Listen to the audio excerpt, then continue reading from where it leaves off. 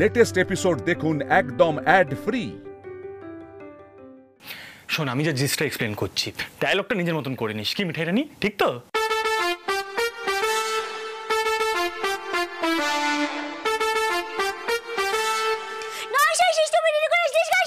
পিছু হাটে না সে যে কটু কথা শুনে না।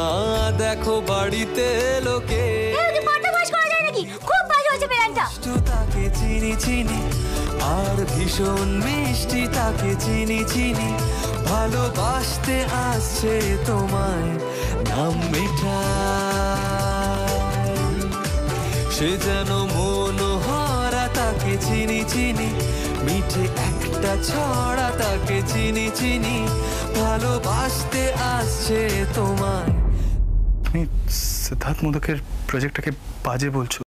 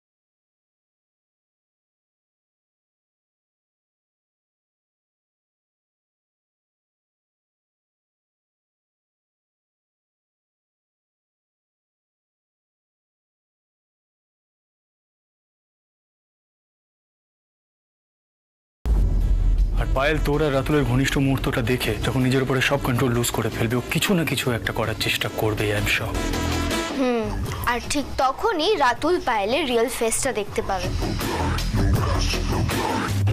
আর একবার যদি পায়েলের পর্দা ফাঁস হয় ব্যাস সবটা মিটে যাবে। বলছিস? সবটা মিটে যাবে? সীতামা দিদি এত অভিমান মনে রেখো না। কষ্ট তুমি পাবে। আমরা বলছি দেখো তোমার জীবনটা আবার সুন্দর হয়ে যাবে। গোপাল হেল্প করে দেবে। সবাই বলো জয় গোপাল! জয় গোপাল!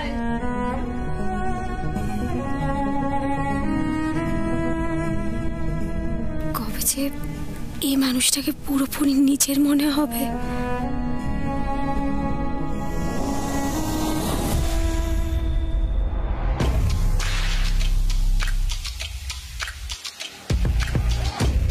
আমাদের তো পুরো রেস্টুরেন্টটা বুকিং করা হয়েছিল না। আরে হাম লোগো কা का রেস্টুরেন্ট কা বুকিং হ্যায়। বাহার কা লোগো কা প্রবেশ নিষেধ হ্যায়। রাজীব দা হিন্দিতে কেন বলছো? ও আপ সাম আপনি বুঝতে পেরেছেন? হ্যাঁ।, হ্যাঁ তাহলে একটু প্লিজ আসলে কি বলতো আমার কেমন একটা পুরোনো দিনের ফিলিংগুলো ফিরে আসছে মনে হচ্ছে। নস্টালজিক হয়ে পড়ছি আসলে। কিরম যেন একটা বাচ্চু সিং বাচ্চু সিং মনে হচ্ছে নিজেকে। রাজ্যের উল্টোপাল্টা হিন্দি বলে পুরো প্ল্যানটা নষ্ট করে দিচ্ছিলে তো। ভাগ্যিস মিঠাই ভালো নাচ করে সবাইকে অন্য মনস্ক করে দিয়েছিল। সত্যি কি দিন ছিল না আমাদের? ঠিকই বলেছিস। এই সে সময় তোরা কত মজা করতিস না? আমি এই সময় বাইরে ছিলাম। যাক গিয়ে আবার সেরকম একটা দিন ফিরে এসছে হ্যাঁ? আর শোনো রাজীব এদের সাথে তোমাকে কথা বলতে হবে না এদিকটা আমি দেখে নেব হ্যাঁ? তোমরা প্ল্যানটা ঝালিয়ে নাও। আরে বাবা প্ল্যানটা তো খুবই সিম্পল দেখো আমাদের ছোট গিন্নি নিয়ে আসবে রাতুলকে, আর এদিকে সিদ্ধার্থ নিয়ে আসবে মেজ গিন্নিকে। আর ওদের দুজনের মান অভিমান পর্ব চুপতে না চুপতেই চলে আসবে পায়ে। আর এদিকে আমাদের মিঠাই রানী গিয়েছে জয়িতাকে ধরে আনতে। আর হ্যাঁ আমরা সেই সময়টাতে ছাতে গিয়ে লুকিয়ে থাকব। ছাদে? কেন? ছাদে কেন আরে নন্দা ছাদেই তো ভালো এখানে ভিড় বাড়িয়ে কোনো লাভ নেই। আর ওইদিকে মিঠাই ওই জয়িতাকে দিয়ে পায়েলকে ইনস্টিগেট করবে যাতে শ্রীর একটা বড় সড়ো বিপদ হয়। বুঝেছ? ব্যাস হয়ে গেল। আমি দিকটা ফাইনাল করে নিচ্ছি তোমরা ছাদে যাও। আমরা আসছি যাও যাও যাও যাও। চল। দেখে এসো হোচট খেও না। দেখো গিন্নি হোচট খেও না।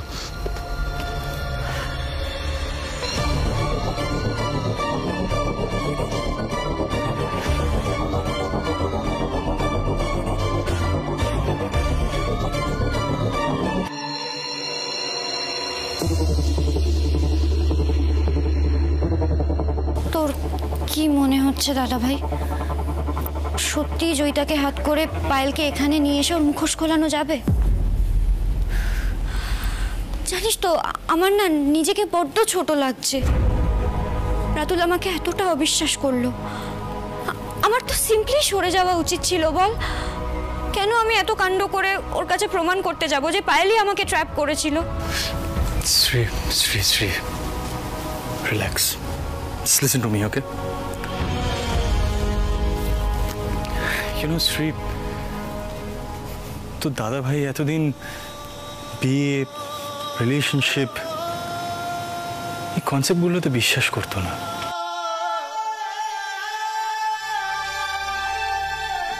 তুই যদি আগে সিদ্ধার্থ মোদককে এই কথাটা জিজ্ঞাসা করতি না, তাহলে সিদ্ধার্থ মোদক তোকে একটাই কথা বলতো। রাতুল তোকে এতটা ইনসাল্ট করেছে। তুই কেন বেকার বেকার ছোট হতে যাবি ওর কাছে? এটাই বলতাম আমি। কিন্তু আজ আর এটা বলব না। কি বলতো?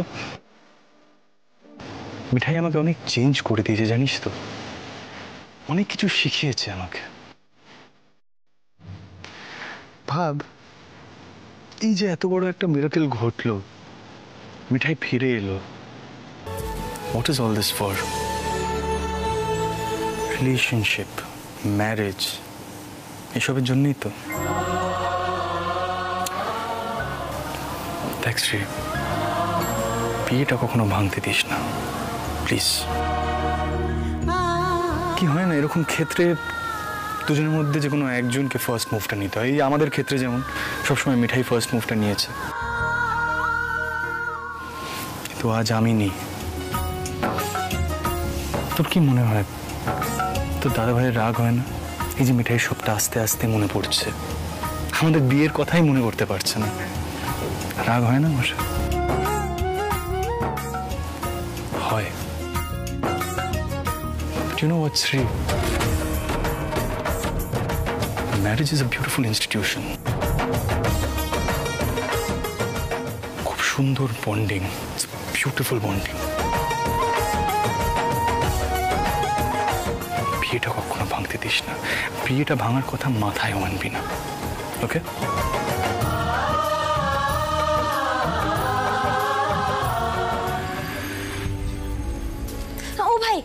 শুনছো বলছি ওই জয়িতা নামের যে ছাত্রীটি ও শ্রীতমা ম্যাডামকে যে ফাঁসিয়েছিল তার কথা বলছেন তো? ওই যে ওই দিকে আছে। লাইব্রেরিতে এসেছিল। ওকে কেউ ঢুকতে দেয়নি। কি? জয়িতা?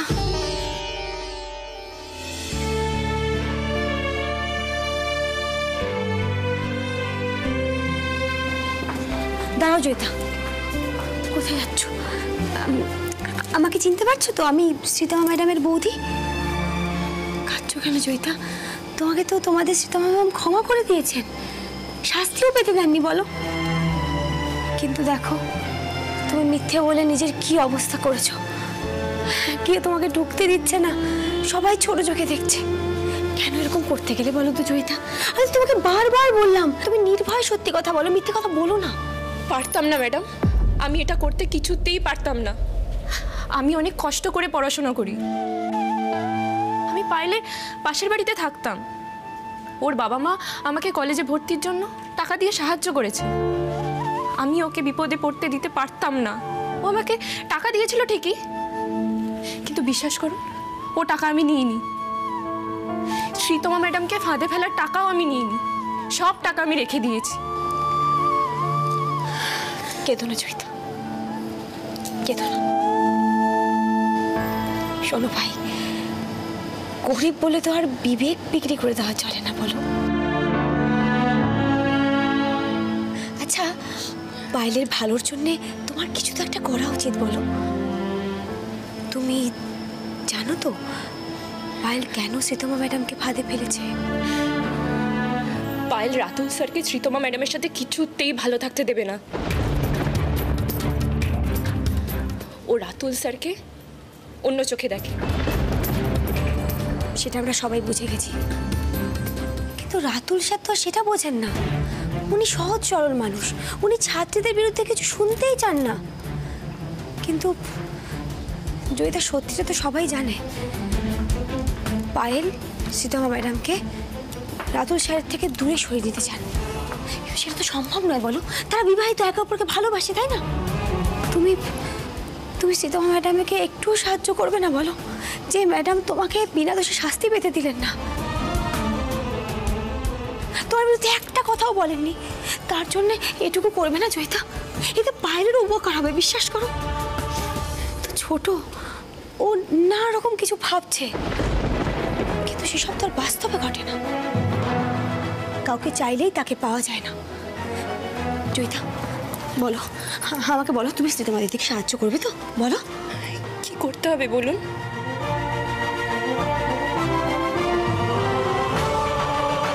এবার নতুন জামাইবাবুর সামনেই খুলে যাবে পায়েলের মুখোশ। নিপা নিপা দেখো সত্যি বলছে এখন কিছু খেতে ইচ্ছে করছে না আমার প্লিজ। রাতুল দেখো পুলিশ বাবু তো কাজে ব্যস্ত। আর আমার না ভীষণ চাইনিজ খেতে ইচ্ছে করছে। আর তুমি ছাড়া কেই বা প্যাম্পার করবে বলো? তুমি বসো না অর্ডারটা দাও আমি এক্ষুনি আসছি। বসো। বসো বসো।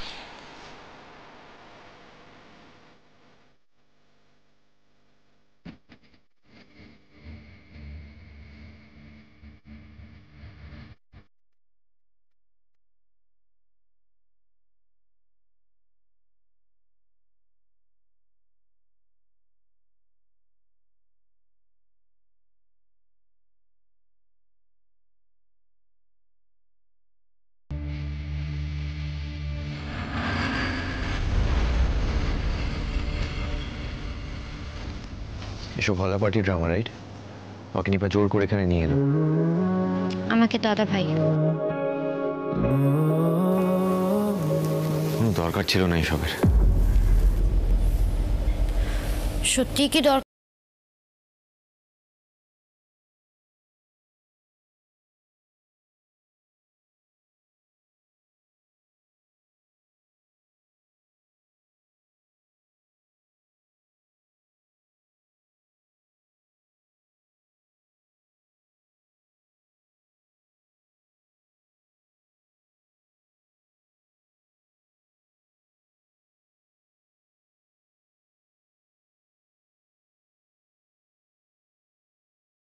পায়েলের আসল মূর্তিটা কি?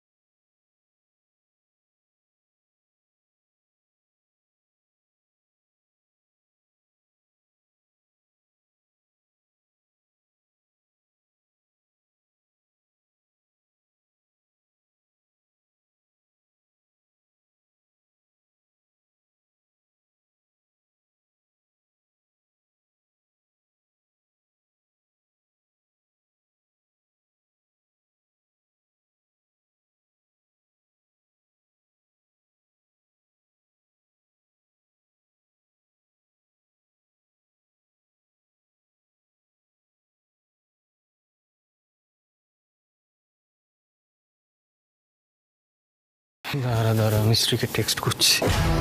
শ্রী সবটা স্পয়েল করিস না। পায়েল আসছে। লিসেন রাতুল আমি এখানে আসতেই চাইনি। আমাকে তো সবাই জোর কর শ্রী সবটা স্পয়েল করিস না। পায়েল আসছে। কি হলো? বলতে যাচ্ছিলে বলো? কে জোর করেছে? ওহো আমি জানি কারা জোর করেছে। আসলে তারা এত কমপ্লিকেটেড মানুষ নয় তো। তোমার চিন্তাধারা বোঝার ক্ষমতা তাদের নেই। মানে?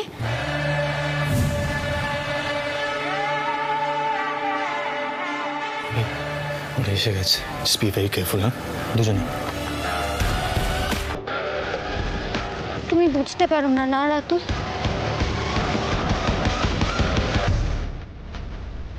তুমি যখন দূরে ছিলে, আমার কি অবস্থা হয়েছিল? আমার ফিলিংগুলো তুমি বোঝো না না? আমি তো মানুষ, বলো। একবার পায়েল এক্সপোজড হোক তারপর তোমাকে দেখাচ্ছি। জয়িতা, কি হয়েছে বলবি? আমরা এখানে কেন এলাম? আচ্ছা তুই তো তোর সব টাকা পেয়ে গেছিস। সীতমা ম্যাম তোকে ক্ষমা করে দিয়েছে। তাহলে এখন কি দরকার? কি দরকার? ওই দেখ।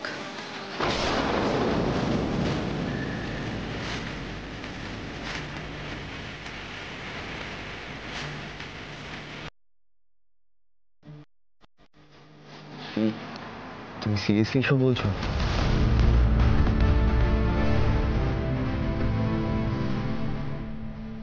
আমি সত্যি কখনো বুঝিনি যে তুমি তুমি আমাকে এইভাবে মিস করেছ।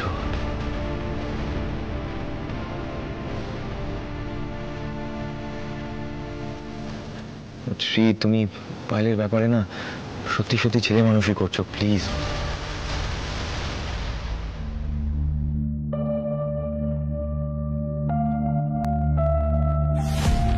আমি জাস্ট জাস্ট আর সহ্য করতে পারছি না।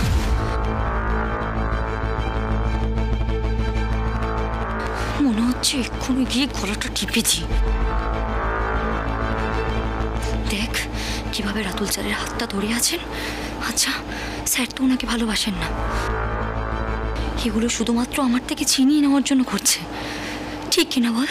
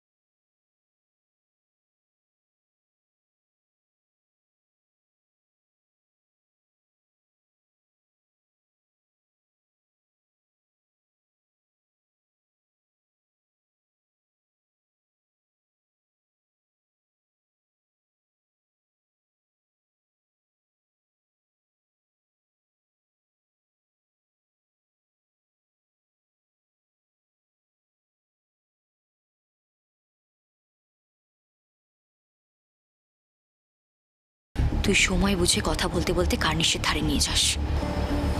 তাই যাব। এই এই সেন্ড করে দিয়েছে। দাদা ভাই তুমি আর আমি ঠিক সময় রাতুলকে নিয়ে ছাদে যাব। আর মিঠাই তুমি জ্যোতির সঙ্গে যাচ্ছ তো? হ্যাঁ জয়িতা খুব ভয় পেয়ে আছে। বাকিরা তো সীতামা দিদির ওপর নজর রাখার জন্য আছেই। রাতুল বাইরে থেকে আমাকে যেরকম লাগে আসলে আমি সেরকম নই এটা তুমি তো জানো বলো।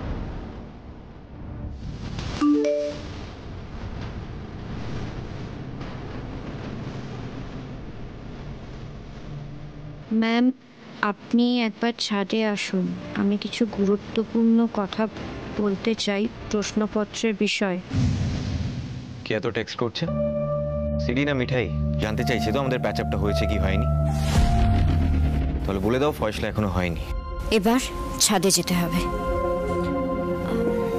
রাতুল আমি না আসছি।